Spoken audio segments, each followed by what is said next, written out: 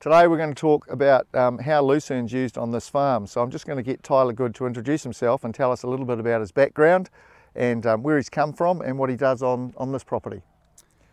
Thanks, Derrick. Um, hey, so I've um, been at Willesden for uh, seven years now. Um, I started as a, a junior shepherd and, um, and have been lucky enough to uh, progress through a few roles and have now just taken on a um, new role recently as uh, the finishing manager. And um, we've been measuring the lucerne on this property and over the time we've been here I think the area has increased from about five hectares to now over 350 hectares of lucerne. So that must, that's made quite a change to the production profile here. How do you use the lucerne on this farm? Um, so we do uh, finish our lambs and um, and our hogget, um, lamb our hoggets on it. Um, we also uh, do a little bit of baleage as well off it when needed. Okay, um, so a lot of this lucerne is on hill country. Some of this area might not be so easy to make baleage out of. Yep. But you said you use it for hoggets, so tell us a little bit about that. When do you when do you mate your hoggets and, and when are they lambing? So they're mated in the uh, first week of May, um, where our target is to have them at 50 kilos um, when the ram goes out. Uh, this year they were about uh, between 52 and 53 kilo average, um, which we're very happy with um, due to having a very good summer.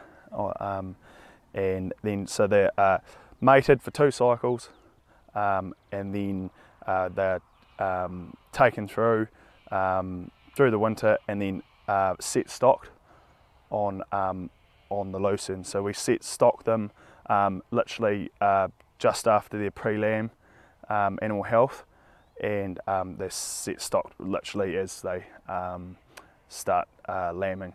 So Tyler, I've told you that lucerne should be rotationally grazed, but you're telling me you're set stocking your hoggets on your lucerne. So tell me about that. What does it look like when you set stocking on it? Um, so we're aiming for at least um, uh, uh, 2,500 uh, cover. So that's yep. what, 20, 25 centimetres yep, tall? 25 centimetres. And uh, this year, as you can see, uh, we had a really good start to the um, spring uh, and late winter. And um, we're, we're probably looking a bit higher than that at the moment. So, so they're coming on to 25, 30 centimetres of lucerne to be set stocked for lambing. Yep.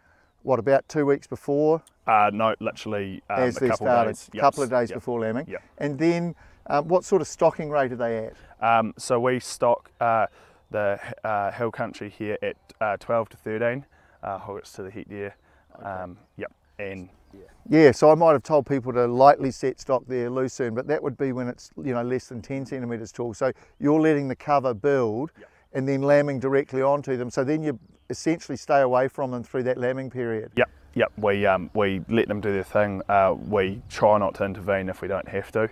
Um, and yeah, we, we find if we, um, you know, the, the, they have enough cover there that if there is any anything, any um, bad weather, anything that comes through, they're able to actually use the lucerne itself as cover as well for the wee lambs and stuff. So um, it works really well. So how many hoggets are we talking about that we're lambing on the lucerne? Uh, so we have uh, this year there's 3,000.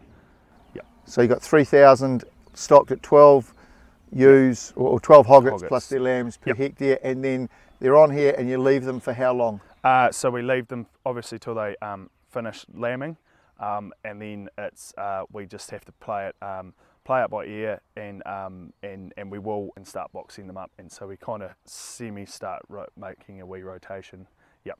So that might be what six weeks after yep. the start. Yep. So yep. about that period of time you'll start boxing them up. So we've got um, pretty good idea of of how you um, essentially do nothing yeah.